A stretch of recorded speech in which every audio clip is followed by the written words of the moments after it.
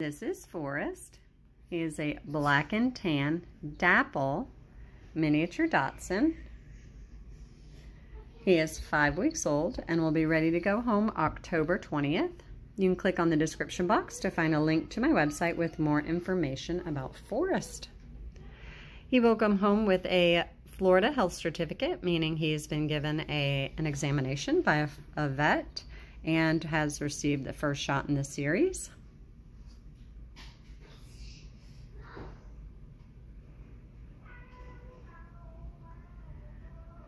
They were just napping, so he's feeling pretty good. Just woke up, exploring his surroundings.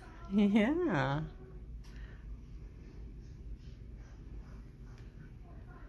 Hey, I know. I know. Look at that belly. Isn't that pretty boy?